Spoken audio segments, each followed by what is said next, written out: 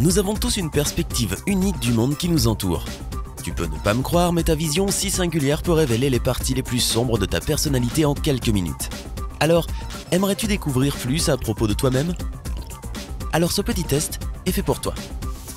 Qu'est-ce qui dirige ta vie, ton cerveau ou ton cœur? Avant d'en apprendre plus à propos de toi, n'oublie pas de cliquer sur S'abonner et d'activer la cloche des notifications pour ne plus manquer nos nouveautés sur Sympa. Je vais te montrer différentes images et te poser des questions en lien avec celles-ci. Tu auras 5 secondes pour choisir la réponse. Fais confiance à ton instinct, tu apprendras de nouvelles choses sur ta personnalité. Question numéro 1. Commençons par regarder cette image fascinante. De ton point de vue, vois-tu un ou deux visages? Tu as 5 secondes pour réfléchir.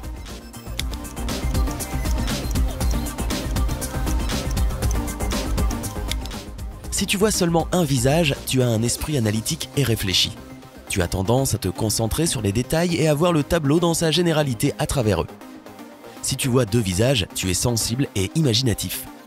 Tu vois le tableau dans sa généralité, ce qui te rend insensible aux détails significatifs. Question numéro 2. Maintenant, regarde ces deux paires d'yeux. Laquelle a l'air triste?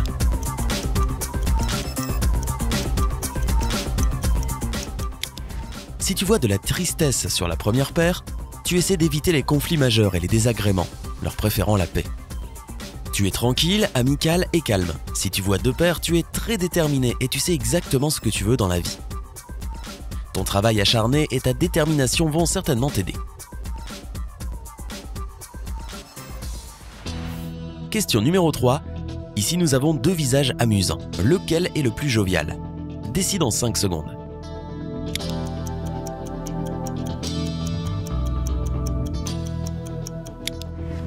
Le premier visage symbolise l'interaction sociale. Tu adores rencontrer de nouvelles personnes et prendre part à des activités de groupe. Le visage numéro 2, au contraire, montre un équilibre émotionnel quand tu es seul. Tu es vraiment ouvert d'esprit et tu acceptes et préfères les petits groupes d'amis aux grandes fêtes.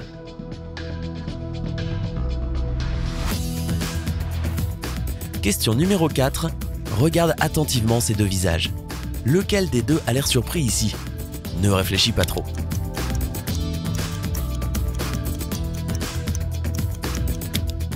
Si c'est le visage numéro 1 pour toi, tu es extrêmement terre à terre et facile à vivre. Tu es le centre de toutes les soirées et la star de tous tes groupes d'amis.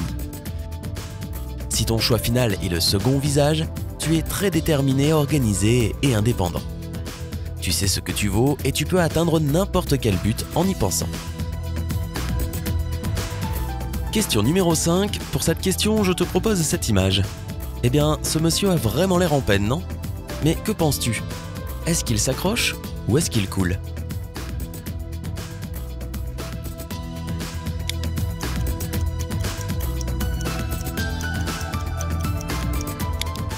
Si tu penses qu'il ne fait que se tenir au radeau, tu es généralement plus concentré pour trouver une manière de résoudre le problème plutôt que de penser à tes émotions et sentiments. Mais si tu penses que cet homme se noie, tu aimes le soutien émotionnel et prendre en main tes propres émotions. Une bonne chose. Question numéro 6. Maintenant, regardons ces deux visages. Lequel te semble stressé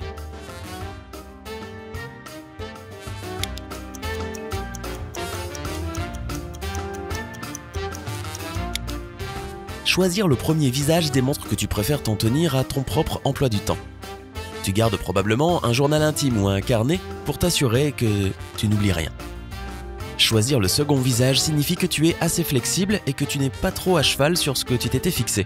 Tu es plutôt spontané et tu te laisses aller au gré de tes envies. Question numéro 7. Comme toujours, j'ai deux visages pour toi. Lequel d'entre eux a l'air choqué? L'horloge tourne.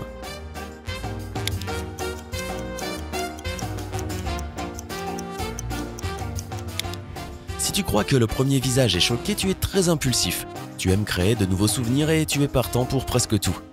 Si tu as choisi le second visage, cela signifie que tu as un bon fond et que tu n'as pas peur des défis. Les tâches difficiles ne font que te motiver et t'encourager à aller de l'avant. Question numéro 8. Plus de visages. Lequel te semble le plus curieux?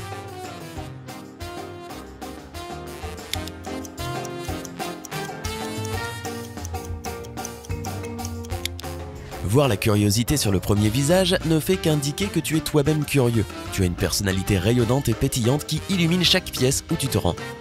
De plus, tu es exceptionnellement charismatique. Choisir le second visage est le signe que tu es un papillon social et que tu trouves des points communs avec tout le monde. Être entouré de personnes te donne de l'énergie et te rend heureux. Question numéro 9. Pour cette question, tu devrais contempler ces deux visages. Lequel te semble ennuyer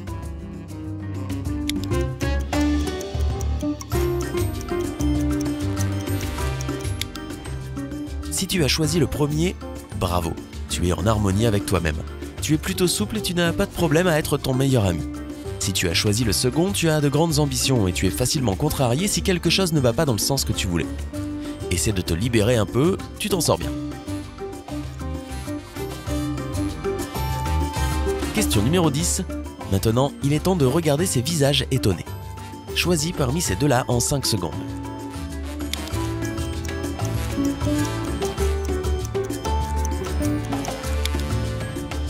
Si le premier visage a l'air plus surpris, tu es absolument certain que le verre est à moitié plein.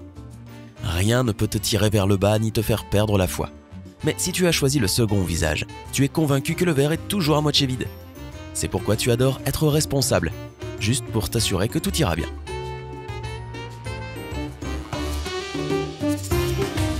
Question numéro 11. Passons à un niveau supérieur et regardons ensemble cet angle. Est-il concave ou convexe? Tu as 5 secondes.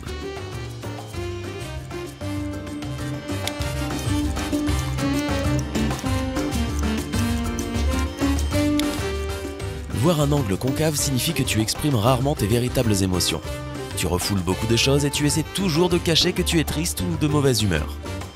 Les gens qui voient un angle convexe sont au contraire en lien avec leurs émotions, si bien que parfois ils exagèrent un peu trop et sont un peu trop dynamiques. Question numéro 12. As-tu déjà été déçu? Alors tu sais certainement ce que cela fait. Mais maintenant tu dois découvrir à quoi cela ressemble. Lequel de ces hommes est déçu selon toi? Tu as 5 secondes pour y réfléchir.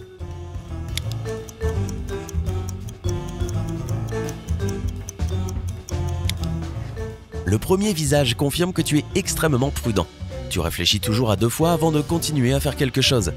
Cette qualité peut d'ailleurs te voler quelques opportunités d'être spontané.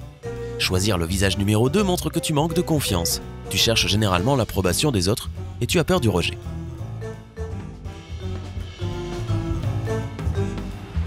Question numéro 13. Il est temps de regarder cette porte rouge. Que vois-tu? Est-elle ouverte vers l'intérieur ou vers l'extérieur?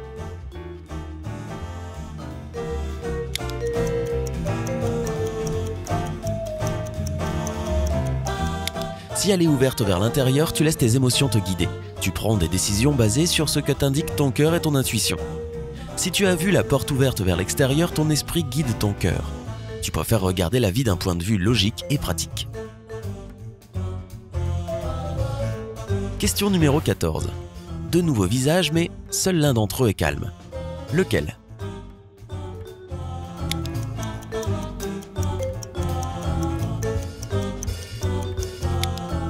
Si tu as choisi le premier visage, tu es très responsable et organisé. Les gens peuvent facilement te faire confiance et être certains que tu feras tout ce qui est en ton pouvoir. Si tu as choisi le second visage, tu es très actif et tu adores plaisanter, mais tu es un peu trop désordonné. Cependant, ton charisme naturel rattrape le coup. Question numéro 15. Oh, regarde ses yeux en forme de cœur. Mais il y a une petite nuance ici. L'une de ses paires est plus amoureuse que l'autre. Laquelle? Prépare ta réponse dans les 5 secondes.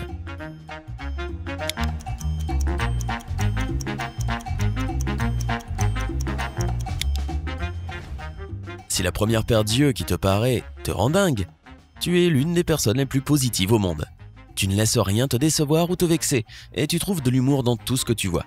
Si les yeux numéro 2 te semblent plus convaincants, tu aimes prendre des risques et vivre à fond. Tu n'as pas peur d'essayer de nouvelles choses et tu aimes vivre le moment présent. Question numéro 16.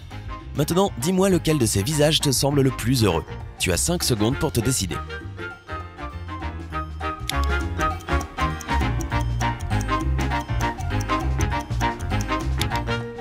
Le premier visage détecte en toi l'esprit libre ainsi qu'une curiosité sans fin pour le monde qui t'entoure.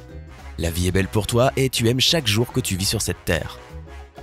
Le visage numéro 2 est le symbole de ta rationalité. Tu essaies de rester calme dans n'importe quelle situation car ton esprit libre t'attire toujours des ennuis.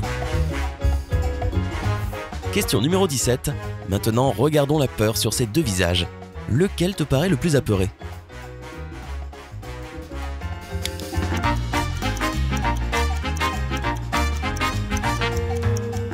Tu as choisi le premier visage, tu es très sensible et tu es souvent contrarié par les choses sur lesquelles tu n'as pas de pouvoir.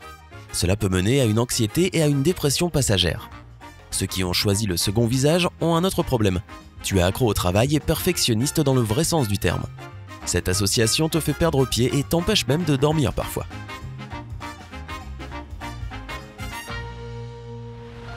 Question numéro 18. L'enthousiasme est contagieux, mais lequel de ces hommes est en réalité enthousiaste? Tic-tac.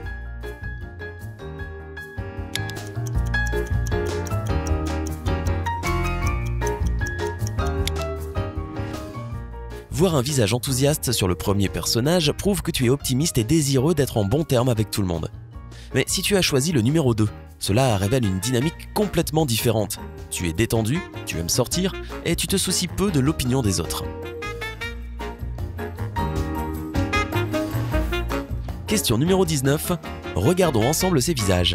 Lequel te semble le plus fier?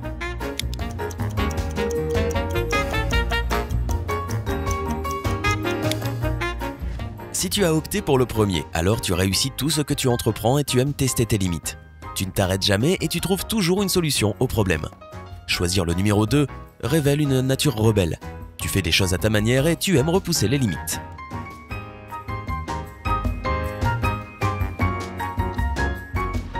Question numéro 20. Regarde ces deux personnages. Lequel te paraît le plus heureux? Je sais, c'est un choix difficile. Mais tu as 5 secondes pour te décider.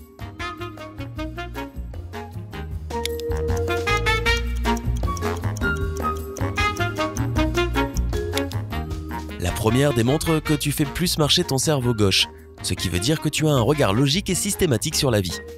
Cependant, si tu as choisi le numéro 2, c'est plutôt ton cerveau droit qui est actif, ce qui veut dire que tu es créatif et ouvert d'esprit.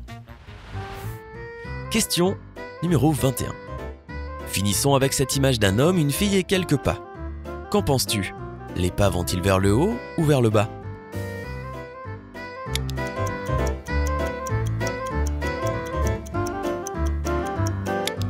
Si tu penses qu'ils vont vers le haut, tu es une personne chaleureuse et amicale. Tu aimes aider les autres et tu essaies toujours d'égayer leur humeur. Si tu es convaincu que les pas descendent, tu as un esprit joliment coloré. Tu es le maître des longues conversations sérieuses et tu aimes réfléchir en dehors du cadre.